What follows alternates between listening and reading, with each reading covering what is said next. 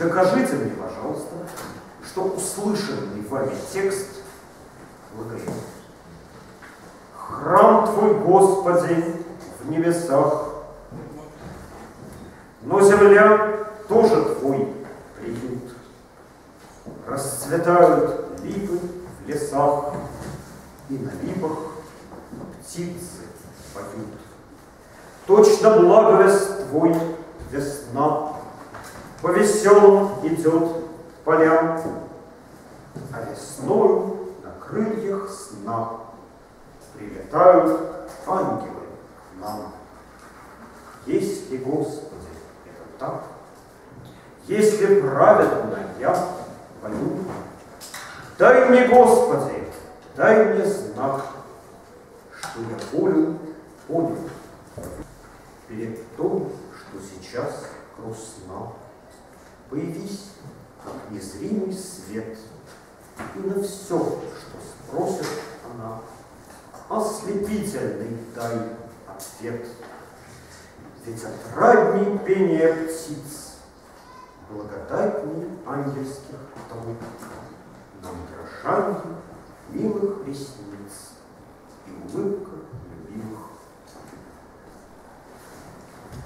Стихи Николай Гумилев. Докажите, что перед нами логопед. Там все время три, три ударения. Так, там три ударения, это говорит о том, что это тоника. Правда? Это тоника, согласен. Так, еще. Дальше. Там все время два безударных удара, два безударных ударных, э, безударный ударный. Это значит что? Анапис, анапис и анапис. Нет, не анапис. Анапис, анапис. Смотрите, что повторяется? Я, я получилось анапис, анапис, анапис. Три анаписа. Нормально. Если, Господи, это так, если праведно я пою, дай мне, Господи, дай мне знак, что я волю понял вот Всегда повторяется, да? Да. Анапис и я. И время а, окончание. получилось. Это не вдольник, заметьте. И все время мужское окончание. все время мужское окончание, согласен, А, что я волю понял я волю понял твою. М? Но это будет все равно не Я. та схема. Видите, у меня получилось, это была строчка, у меня получилось анапис, анапис, анапис. Так, то есть у вас всякий раз так или иначе получится вот эта схемка. Временами на первом ударении будет сверхсхемное. Оно нас пугать опять-таки не должно. Ну почему, что я волю понял твою, там не так в середине ударения. Вообще. А, Там строчка дольника случайная, да? То я волю понял твою. Все остальное. Перед той, что сейчас грустна, появись, как незримый свет, и на все, что спросит она, Опять. ослепительный дай ответ. Да? Так, еще Хочу сказать, я разобрала строчку, у меня получилось анапис, анапис, анапис. э, где? Ведь отраднее пение птиц. Ведь отрадней пение птиц. А если отраднее ир и отраднее...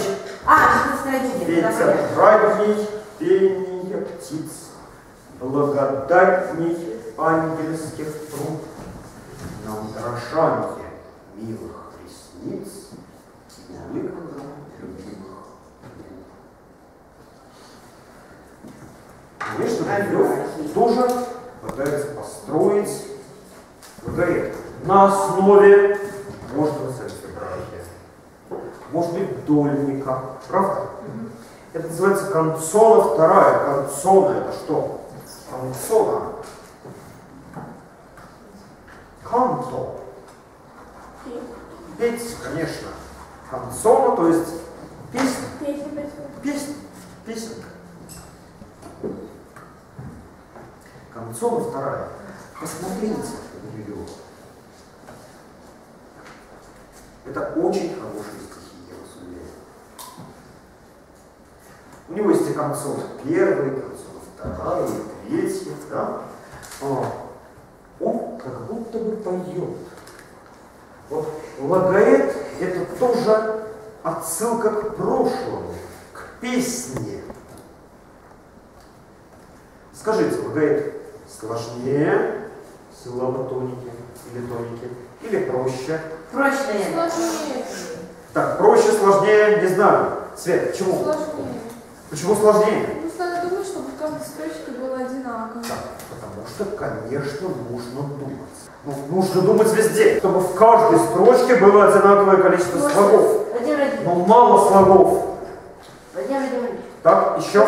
я думал, что он все-таки будет чуть легче писать, чем простая силоботоника, так как простой силоботоники, там обычный силоботоник, надо говорить, что ям, ям, ям, ям, ям, и там, и там, хорей, хорей, хорей, хорей. А тут можно любое, хоть хорей, даксель, брать, анапис, да, и ям. Но, правда, это надо повторять, это правда. должен заранее рассчитать. Можно чуть разнообразнее. Я напоминаю, логореды короткими бывают чаще, чем длинными. Ну, Наверное, это не случайно.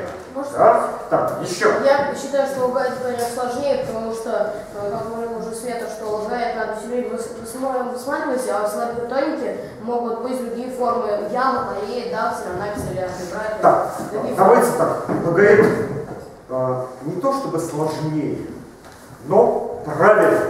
Да? А после данных, мне кажется, что это виновато тем, что надо все время одни и те же какие А, ну, пожалуйста. Или мужские, или женские, или дактилические, пожалуйста. Любые. Любые.